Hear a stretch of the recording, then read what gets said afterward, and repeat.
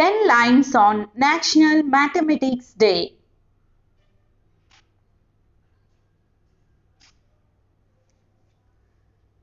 Mathematician Srinivasa Ramanujan had a great passion for maths for the age of 12.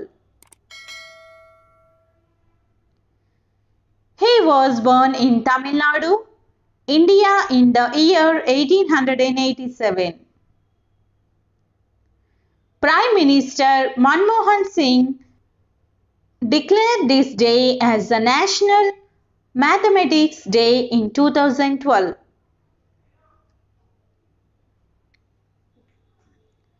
It marked the 125th birth anniversary of Ramanujan.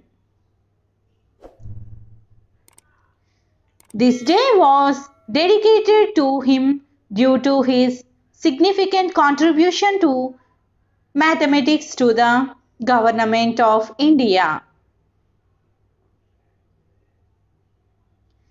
It was also decided that 2012 would be celebrated as the mathematical year.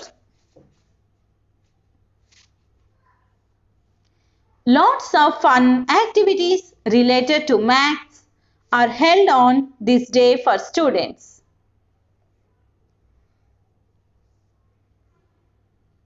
The main objective of Mathematics Day is to people aware of the importance of arithmetics.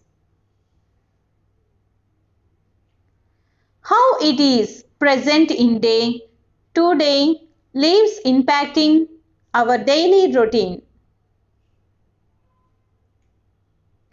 It also encourages young minds to take an active interest in the subject.